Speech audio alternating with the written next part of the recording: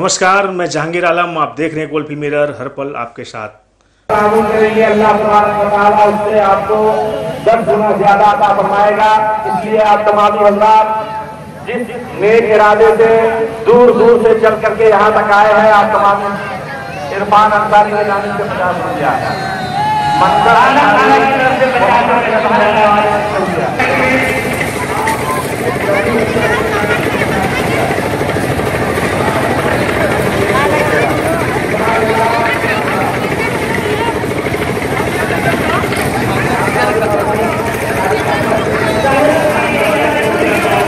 हाँ तो आज आप लोग यहाँ पे क्या व्यवस्था किए हैं? मतलब क्या चल रहा है? क्या कर रहे हैं आप लोग? ये हम लोग का आज तो मस्जिद का ढलाई है नूरी मस्जिद का।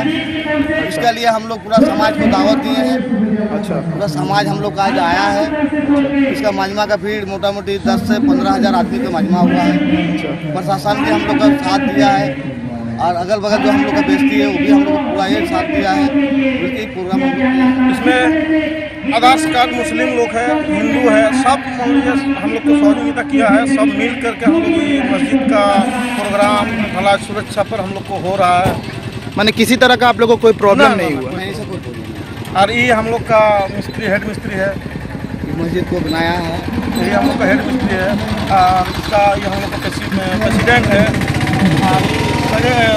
और कैशियर का भाई है हम है सेक्रेटरी साहब आप सेक्रेटरी साहब हैं। आपका नाम मोहम्मद कमरुद्दीन हुसैन अच्छा आपका नाम जाकिर अंसारी आपका नाम मेरा नाम मोहम्मद शाहिद अंसारी आपका नाम मोहम्मद जलसन কেউ আজকে যে ওই একটা মসজিদে আহ, একটা ইনভার্টার দিলেন তো এ- এটা কি ব্যাপ- বিষয়টা কি দেখুন আমরা শশীভূষণ প্রসাদ যাদব ওয়েলফেয়ার সোসাইটির পক্ষ থেকে আমি ওনার যে চিন্তা ভাবনাটা ছিল ওটা আমরা গ্রামগঞ্জে ছুটতে চাইছি তার জন্যই আমরা আজকে প্রথমে মানে আমি আপনাকে জানাই, আদি যে মন্দির আছে, মসজিদ আছে গুরুদ্বারা আছে, আমরা সমস্তটাকে ধাপে ধাপে আমরা কিন্তু এই ব্যবস্থাটুকু তুলে দেব।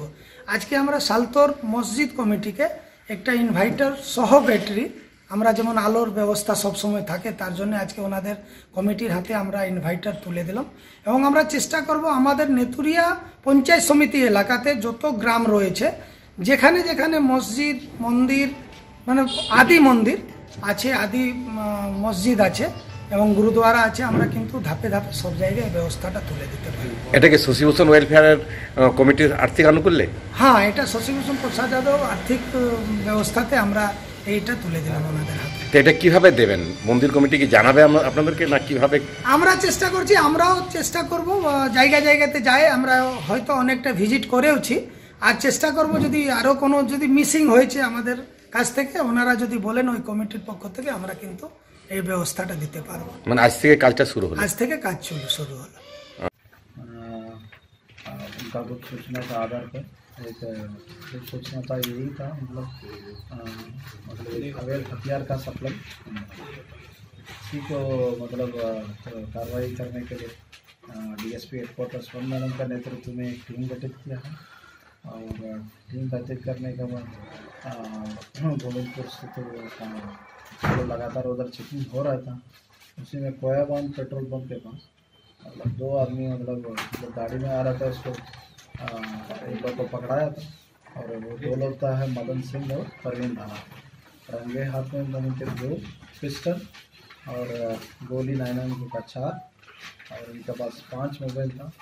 और ये लोग का पैशन प्रो भी अभी गाड़ी भी बरामद कर किया गया पहले भी मतलब इन लोगों का कहना है कि ये इलेक्शन के दौरान मतलब कोई सप्लाई करने के लिए सर कितना में लोग खरीद बिक्री करते हैं? इसका प्राइस मतलब वो सबका जाँच में है मतलब अभी वो पूरा जाँच में होगा। पहले पहले का अपराधी की इतिहास कुछ है सर? मदन सिंह का है मतलब नाइन्टी फाइव में भी उसका जेल गया है और वो लगातार वो निगरानी में रखा रखा था उसका आ, मतलब वो पुलिस का नेता- मतलब आँख में था और उसके- सर क्या माना जा रहा है कि चुनाव में किसी तरह का कोई घटना को अंजाम देने के लिए लोग इस तरह से? हो सकता है उसी के हम जाँच में जुटे इन लोग का कौन कौन है पूरा अभी जाँच में आएगा खुलेगा क्या क्या और भी लोग किसने मंगवाया था ये पता चला गया किसको सप्लाई करना था ये पता चल गया मतलब परवीन लाला को उनको सप्लाई करना था। और भी लोग जुड़े हो सकते हैं वो सब जाँच में वो अभियुक्त लोग काफ़ी असामाजिक प्र- प्रवृत्ति के आदमी हैं। वो लोग आए दिन उस तरह घटना करते हैं दो दूसरे से रंगदारी मांगते हैं। उसी क्रम में मैं अपने कोर्ट से घर आया था। घर में मैं अपने चैम्बर में काम कर रहा था अपने पिताजी के साथ। और पिताजी के साथ काम करने के दरमियान में अचानक वो लोग कौन लोग थे? जरा नाम बताएँ। कुछ लोगों का नाम याद है आपको? हाँ नाम सभी का याद है। नाम सभी का मुझे याद है। अच्छा। ये नाम है विनय विनय बनर्जी रजत रजत मोदक निपू मोदक और राहुल मोदक। कहाँ रहते हैं ये लोग? ये लोग खतरास राजबाड़ी रोड कारण क्या है मारपीट करने का? और अन्य भी थे और अन्य भी थे। तो कारण कारण क्या? ये लोग आ, लिलोरी थान में और कतरासगढ़ में आए दिन रंगदारी का ऑब्स्ट्रक्शन करते हैं लूट लूटते हैं लोगों को और इस तरह दारू पीते हैं और लूट खसोट करते हैं। इसी क्रम में उन लोगों ने हमारे ऑफ़िस में घुसकर यह अंजाम दिया पिस्तौल दिखाते हुए घेर लिया मुझे तथा मेरे पिताजी को और बोला कि साला नया गाड़ी खरीदता है पच्चीस हज़ार रुपया रंगदारी दो। रंगदारी की मांग को लेकर मैं एकदम एकदम एक्सटॉर्शन पूरा एक्सटॉर्शन करते हैं कानून से क्या मांग करते हैं क्या? हम बीइंग हम, मैं खुद एक अधिवक्ता हूँ और मैं कतरास थाना प्रभारी और कानून व्यवस्था से न्याय का गुहार लगाता हूँ।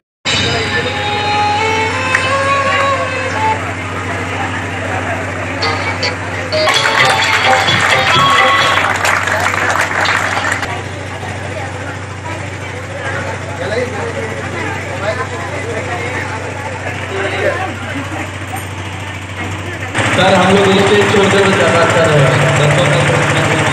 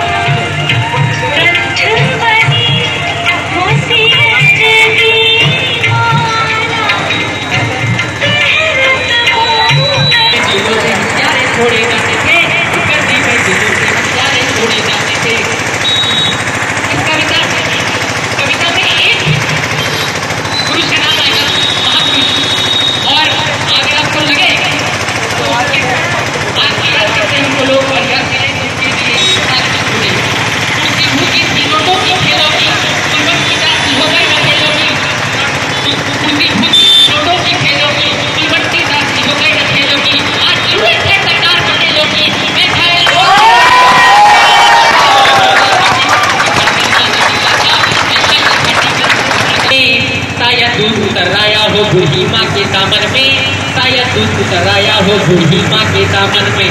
वो अच्छा। विधवा पूरी दुनिया का बोझा कर ले सकती है। वो विधवा पूरी दुनिया का बोझा कर ले सकती है। जो अपने पति की को भी कंधा दे सकती है।